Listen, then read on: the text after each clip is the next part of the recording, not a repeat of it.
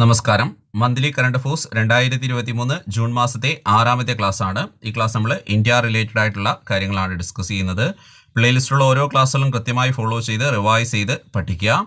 അതേപോലെ രണ്ടായിരത്തി ഇരുപത്തിനാലിൽ നടക്കുന്ന L D C L G S അതേപോലെ യൂണിഫോം ടെസ്റ്റുകൾ L P U P assistant പരീക്ഷ മറ്റ് ഡിഗ്രി ലെവൽ പരീക്ഷകൾ എന്നിവയ്ക്ക് തയ്യാറെടുക്കുന്ന വിദ്യാർത്ഥികൾക്ക് വേണ്ടി കറണ്ട് അഫേഴ്സിന്റെ പുതിയ പെയ്ഡ് കോഴ്സ് നമ്മൾ ഫെബ്രുവരി പന്ത്രണ്ട് മുതൽ സ്റ്റാർട്ട് ചെയ്യുന്നുണ്ട്. ഡീറ്റെയിൽസ് വീഡിയോയുടെ ഡിസ്ക്രിപ്ഷൻ ബോക്സിൽ കൊടുത്തിട്ടുണ്ട്. താല്പര്യമുള്ള വിദ്യാർത്ഥികൾ ചേർന്ന് പഠിക്കുക. നമസ്കാരം. രണ്ടായിരത്തി ഇരുപത്തിനാലിൽ നടക്കുന്ന L P U P assistant പരീക്ഷ L D C L G S അതേപോലെ മറ്റ് യൂണിഫോം ടെസ്റ്റുകൾ ഡിഗ്രി ലെവൽ എക്സാം ഇവയ്ക്ക് പ്രിപ്പയർ ചെയ്യുന്ന ഉദ്യോഗാർത്ഥികൾക്ക് വേണ്ടി കറണ്ട് അഫേഴ്സിന്റെ പെയ്ഡ് കോഴ്സ് സീരീസിലെ പതിനഞ്ചാമത്തെ ബാച്ച് നമ്മൾ ഫെബ്രുവരി പന്ത്രണ്ട് മുതൽ സ്റ്റാർട്ട് ചെയ്യാണ്. കോഴ്സിലേക്കുള്ള അഡ്മിഷൻ ആരംഭിച്ചിട്ടുണ്ട്. കോഴ്സിന്റെ ഡീറ്റെയിൽസ് ഇവിടെ തന്നിരിക്കുന്ന വാട്സപ്പ് നമ്പറിലോ ടെലഗ്രാം നമ്പറിലോ കോൺടാക്ട് ചെയ്താൽ ലഭിക്കുന്നതാണ്. അപ്പോൾ ഇതുവരെ നടത്തിയ കോഴ്സുകളിൽ ലാസ്റ്റ് നടന്ന യൂണിവേഴ്സിറ്റി എൽ പരീക്ഷ വരെ നമ്മുടെ കുട്ടികൾക്ക് കറണ്ട് അഫേഴ്സിൽ മുഴുവൻ മാർക്കും സ്കോർ ചെയ്യാൻ സാധിച്ചു. അപ്പോൾ തീർച്ചയായിട്ടും കറണ്ട് അഫേഴ്സിൽ ഒരു ബേസും ഇല്ലാത്തവർക്ക് പോലും ഇരുപത് മാർക്ക് ചോദ്യങ്ങൾ വരുന്ന സമയത്ത് ഫുൾ മാർക്കും സ്കോർ ചെയ്യാവുന്ന രീതിയിലാണ് നമ്മൾ കോഴ്സുകൾ പ്രൊവൈഡ് ചെയ്യുന്നത്. നമ്മുടെ കോഴ്സ് കൃത്യമായി അറ്റൻഡ് ചെയ്യുക പത്രം വായിക്കുന്ന ശീലം ഉണ്ടാവുക. ഈ രണ്ട് കാര്യങ്ങളുണ്ടെങ്കിൽ കറണ്ട് അഫേഴ്സിൽ മുഴുവൻ മാർക്ക് സ്കോർ ചെയ്ത് റാങ്കിൽ സ്റ്റേറ്റ് ടോപ്പിലെത്താൻ ഈ ഒരു കോഴ്സ് നിങ്ങളെ സഹായിക്കും. പ്രൈവറ്റ് ടെലഗ്രാം ചാനൽ വഴിയാണ് നമ്മൾ ക്ലാസ്സുകൾ പ്രൊവൈഡ് ചെയ്യുന്നത്. റെക്കോർഡഡ് വീഡിയോ ക്ലാസ്സുകളും അതിന് ടൈപ്പ് ചെയ്ത പി ഡി എഫ് നോട്ട്സും വീക്ക്ലി റിവിഷൻ എക്സാമും ആണ് ഉള്ളത്. അതുകൊണ്ട് തന്നെ പഠിക്കുന്നവർക്കോ ജോലി ചെയ്യുന്നവർക്കോ മറ്റു കോഴ്സുകൾ അറ്റൻഡ് ചെയ്യുന്നവർക്കൊക്കെ വളരെ ഈസി ആയിട്ട് ഒരു ദിവസം ഒരു പതിനഞ്ച് മുതൽ ഇരുപത് മിനിറ്റ് മാറ്റിവെച്ചാൽ കറണ്ട് അഫേഴ്സിൽ എല്ലാ പരീക്ഷകളിലും മികച്ച സ്കോർ നേടാൻ ഈ ഒരു കോഴ്സ് നിങ്ങളെ പ്രാപ്തരാക്കും. ഇപ്പോൾ നമ്മുടെ ഈ ഒരു കോഴ്സിന്റെ പ്രത്യേകത രണ്ടായിരത്തി ഇരുപത്തിനാലിൽ നടക്കുന്ന പരീക്ഷകളിൽ ആവശ്യമായിട്ടുള്ള രണ്ടായിരത്തി പതിനെട്ട് മുതലുള്ള ഏറ്റവും ഇമ്പോർട്ടന്റ് ആയിട്ടുള്ള എല്ലാ കാര്യങ്ങളും പ്രൊവൈഡ് ചെയ്യുന്നുണ്ട്. എന്ന് വെച്ചാൽ അതിന്റെ അർത്ഥം ഏറ്റവും ഇമ്പോർട്ടന്റ് ആയിട്ടുള്ള അതായത് പരീക്ഷയ്ക്ക് ചോദിക്കാൻ സാധ്യതയുള്ളത് എന്നൊരർത്ഥത്തിലാണ്. ഇപ്പോൾ കേരള ബാങ്ക് രണ്ടായിരത്തി പത്തൊൻപതിൽ രൂപീകരിച്ചു അല്ലെങ്കിൽ ദേശീയ വിദ്യാഭ്യാസ നയം രണ്ടായിരത്തി ഇരുപതിൽ നിലയിൽ വന്നു.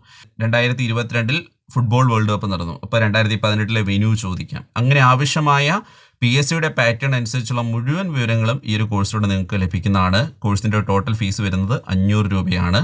അപ്പോൾ നമ്മൾ കോഴ്സിലേക്കുള്ള അഡ്മിഷൻ ആരംഭിച്ചിട്ടുണ്ട്. ജോയിൻ ചെയ്യാൻ താല്പര്യമുള്ളവർ താഴെ തന്നിരിക്കുന്ന നമ്പറിൽ വാട്സപ്പിലോ ടെലഗ്രാമിലോ മെസ്സേജ് അയയ്ക്കുക. താങ്ക് യു രണ്ടായിരത്തി ഇരുപത്തിരണ്ട് ഇരുപത്തിമൂന്ന് വർഷത്തിൽ ഇന്ത്യയിൽ നിന്നും ഏറ്റവും കൂടുതൽ കയറ്റുമതി ചെയ്ത സമുദ്രോൽപ്പന്നം ശീതീകരിച്ച ചെമ്മീനാണ്. രണ്ടായിരത്തി ഇരുപത്തിരണ്ട് ഇരുപത്തിമൂന്ന് വർഷത്തിൽ ഇന്ത്യയിൽ നിന്നും ഏറ്റവും കൂടുതൽ കയറ്റുമതി ചെയ്ത സമുദ്രോൽപ്പന്നം ഏതാണ്? ശീതീകരിച്ച ചെമ്മീൻ. ഇന്ത്യയിൽ നിന്നും ഏറ്റവും കൂടുതൽ സമുദ്രോൽപ്പന്നങ്ങൾ ഇറക്കുമതി ചെയ്യുന്ന രാജ്യം ഏറ്റവും പുതിയ കണക്കുകൾ പ്രകാരം അമേരിക്കയാണ്. അപ്പോൾ രണ്ടായിരത്തി ഇരുപത്തിരണ്ട് ഇരുപത്തിമൂന്ന് വർഷത്തിൽ ഇന്ത്യയിൽ നിന്ന് ഏറ്റവും കൂടുതൽ കയറ്റുമതി ചെയ്ത സമുദ്രോൽപ്പന്നം ഏതാണ്? ശീതീകരിച്ച ചെമ്മീൻ. നെക്സ്റ്റ് മിലറ്റ് വർഷാചരണത്തിന്റെ ഭാഗമായി പ്രധാനമന്ത്രി നരേന്ദ്രമോദി ഗ്രാമി പുരസ്കാര ജേതാവായ ഗായിക ഫാലുവുമായി ചേർന്ന് രചന നിർവഹിച്ച ഗാനം അബൻഡൻസ് ഇൻ മിലറ്റ്സ് രണ്ടായിരത്തി ഇരുപത്തി മൂന്ന് ചെറുതാനി വർഷമായി ഐക്യരാഷ്ട്രസഭ പ്രഖ്യാപിച്ചിരുന്നു. അപ്പോൾ മിലറ്റ് വർഷാചരണത്തിന്റെ ഭാഗമായി പ്രധാനമന്ത്രി നരേന്ദ്രമോദി ഗ്രാമി പുരസ്കാര ജേതാവായ ഗായിക ഫാലുവുമായി ചേർന്ന് രചന നിർവഹിച്ച ഗാനമാണ് അബൻഡൻസ് ഇൻ മിലറ്റ്സ് രണ്ടായിരത്തി ഇരുപത്തി മൂന്ന് ചെറുതാനി വർഷമായി ഐക്യരാഷ്ട്രസഭ പ്രഖ്യാപിച്ചിരുന്നു. ഡൽഹി തീൻമൂർത്തി ഭവനിൽ സ്ഥിതി ചെയ്യുന്ന നെഹ്റു മെമ്മോറിയൽ മ്യൂസിയം ആൻഡ് ലൈബ്രറിയുടെ പുതിയ പേര് prime minister's museum and library society എന്നാക്കി. ഡൽഹി തീൻമൂർത്തി ഭവനിൽ സ്ഥിതി ചെയ്യുന്ന നെഹ്റു മെമ്മോറിയൽ മ്യൂസിയം ആൻഡ് ലൈബ്രറിയുടെ പുതിയ പേരെന്താണ്? Prime minister's museum and library society.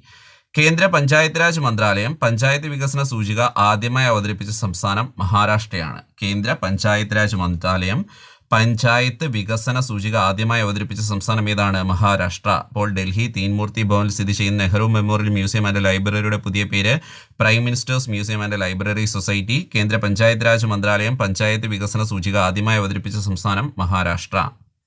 നിർമ്മാണം പൂർത്തിയായി വരുന്ന രാജ്യത്തെ ഏറ്റവും നീളം കൂടിയ കടൽപ്പാലമായ മുംബൈ ട്രാൻസ് ഹാർബർ ലിങ്ക് ആരുടെ പേരിലാണ് നാമകരണം ചെയ്യുന്നത്? അടൽ ബിഹാരി വാജ്പേയി. ബർസോവ ബാന്ദ്ര കടൽപ്പാലം വീർ സവർക്കർ സേതു എന്ന പേരിലും അറിയപ്പെടും. അപ്പോൾ നിർമ്മാണം പൂർത്തിയായി വരുന്ന രാജ്യത്തെ ഏറ്റവും നീളം കൂടിയ കടൽപ്പാലമായ മുംബൈ ട്രാൻസ് ഹാർബർ ലിങ്ക് ആരുടെ പേരിലാണ് നാമകരണം ചെയ്തത്? അടൽ ബിഹാരി വാജ്പേയി. ബർസോവ ബാന്ദ്ര കടൽപ്പാലം വീർ സവർക്കർ സേതു എന്ന പേരിലും അറിയപ്പെടും. അടുത്തിടെ ഏറ്റവും വലിയ സ്വകാര്യ റെയിൽ കോച്ച് ഫാക്ടറി ഉദ്ഘാടനം ചെയ്തത് എവിടെയാണ്?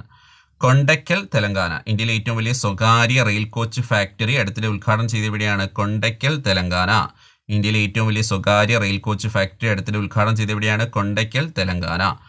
നെക്സ്റ്റ് റോഡ് ശൃംഖലയിൽ ചൈനയെ മറികടന്ന ലോകത്തിൽ രണ്ടാമത്തെ രാജ്യം ഇന്ത്യയാണ്. ഒന്നാം സ്ഥാനത്ത് ഇപ്പോഴും അമേരിക്കയാണ്. അപ്പോൾ ഇന്ത്യയിലെ ഏറ്റവും വലിയ സ്വകാര്യ റെയിൽ കോച്ച് ഫാക്ടറി അടുത്തിൽ ഉദ്ഘാടനം ചെയ്ത എവിടെയാണ് കൊണ്ടയ്ക്കൽ തെലങ്കാന. റോഡ് ശൃംഖലയിൽ ചൈനയെ മറികടന്ന ലോകത്തിൽ രണ്ടാമത്തെ രാജ്യം ഏതാണ്? ഇന്ത്യ. ഒന്നാം സ്ഥാനത്ത് അമേരിക്ക. നെക്സ്റ്റ് ഇന്ത്യയിൽ നടക്കുന്ന ആദ്യ മോട്ടോ ജി പി ചാമ്പ്യൻഷിപ്പിന് വേദിയാകുന്ന നഗരം. ഗ്രേറ്റർ നോയിഡ ഉത്തർപ്രദേശ്. ബുദ്ധ സർക്യൂട്ടിലാണിത് നടക്കുന്നത്. ആ ഒരു പ്ലേസിന്റെ പേരാണ് ബുദ്ധ സർക്യൂട്ട്. ഇന്ത്യയിൽ നടക്കുന്ന ആദ്യ മോട്ടോ ജി പി ചാമ്പ്യൻഷിപ്പിന് വേദിയായത് എവിടെയാണ്? ഗ്രേറ്റർ നോയിഡ ഉത്തർപ്രദേശ്. ബുദ്ധ സർക്യൂട്ട് എന്നാണ് ആ ട്രാക്കിന്റെ പേര്. ഇന്ത്യയിൽ നടക്കുന്ന ആദ്യ മോട്ടോ ജി പി ചാമ്പ്യൻഷിപ്പിന് വേദിയായത് ഗ്രേറ്റർ നോയിഡ ഉത്തർപ്രദേശ്. കോവിഡ് വകഭേദമായ ഒമിക്രോണിനെതിരെ ഇന്ത്യ തദ്ദേശീയമായി വികസിപ്പിച്ച ആദ്യ M R N A vaccine. Gemcovac O M. Pune ആസ്ഥാനമായി പ്രവർത്തിക്കുന്ന ജനോവ ബയോ ഫാർമസ്യൂട്ടിക്സിലാണ് വാക്സിൻ വികസിപ്പിച്ചത്. കോവിഡ് വകഭേദമായ ഒമിക്രോണിനെതിരെ ഇന്ത്യ തദ്ദേശീയമായി വികസിപ്പിച്ച എം ആർ എൻ എ വാക്സിന്റെ പേരാണ് ജെം കോവാക് ഒ എം. പൂനെ ആസ്ഥാനമായി പ്രവർത്തിക്കുന്ന ജനോവ ബയോ ഫാർമസ്യൂട്ടിക്സിലാണ് വാക്സിൻ വികസിപ്പിച്ചത്.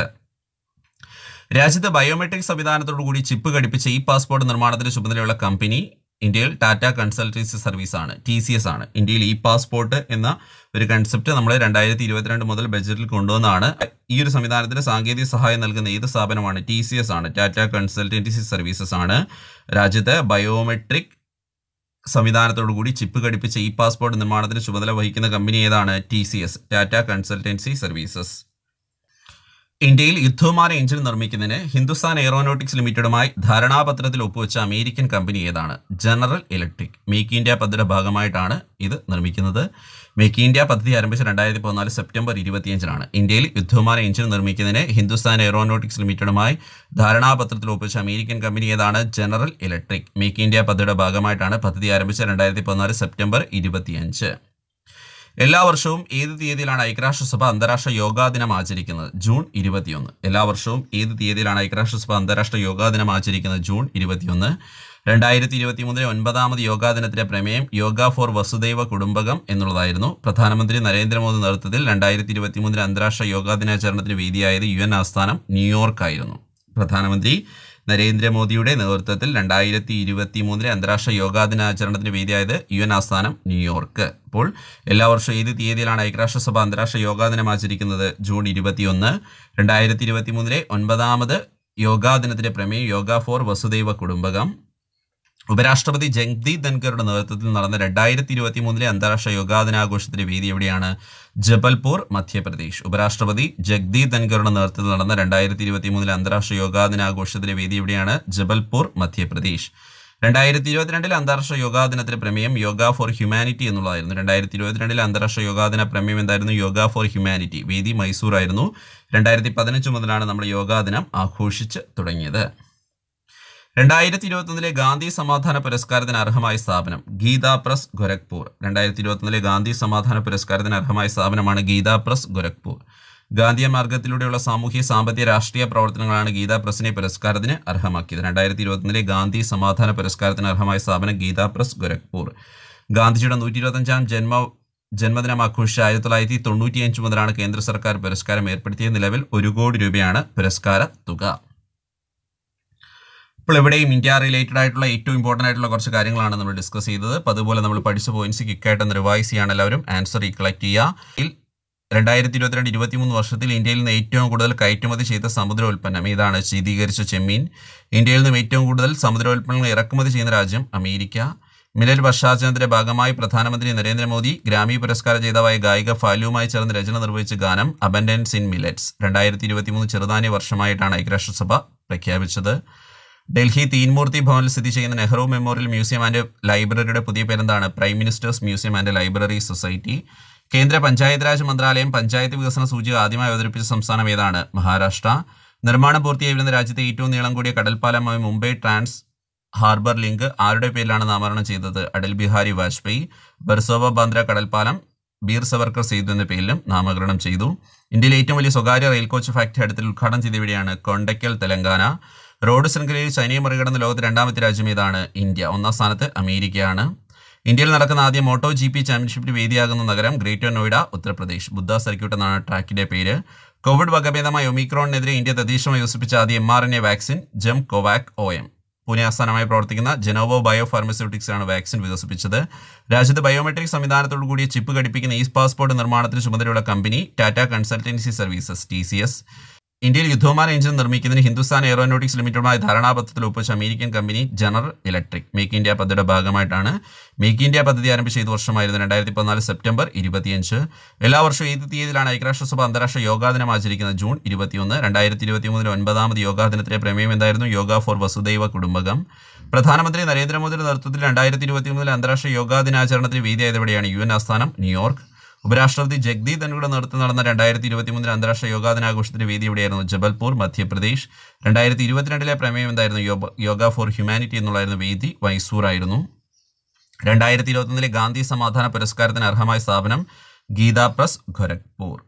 അപ്പോൾ ഇത്രയും പോയിന്റ്സ് കൃത്യമായി എല്ലാവർക്കും മനസ്സിലായെന്ന് വിശ്വസിക്കുന്നു. ഏറ്റവും ഇമ്പോർട്ടന്റ് ആയിട്ടുള്ള പോയിന്റുകളാണ് നമ്മൾ ഡിസ്കസ് ചെയ്തത്. ക്ലാസ്സിൽ കൃത്യമായി റിവൈസ് ചെയ്ത് പഠിക്കുക. ക്ലാസ്സിനെ കുറിച്ചുള്ള അഭിപ്രായങ്ങളും നിർദ്ദേശങ്ങളും തീർച്ചയായും കമന്റ് ബോക്സിൽ രേഖപ്പെടുത്തുക. ഈ ഒരു ക്ലാസ് ഇവിടെ അവസാനിക്കുന്നു. താങ്ക്